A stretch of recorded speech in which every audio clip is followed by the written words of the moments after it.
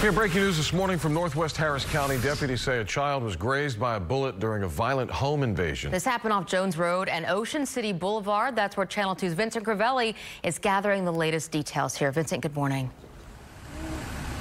Lisa, good morning. This was a frightening situation. Detectives say a mother witnessed her son get shot, and three dangerous suspects are still on the loose. This morning, a family is terrified after three men break through their door and shoot a child. Units arrived and they found uh, one juvenile male that was shot. Investigators say three men forced their way inside this apartment, breaking through the front door, then shot a boy in his side. Violence was used which makes it a home invasion. A home invasion that ended with gunfire. Detectives say the boy was shot while his brother and mother were home. The boy was taken to the hospital. Authorities say he will survive.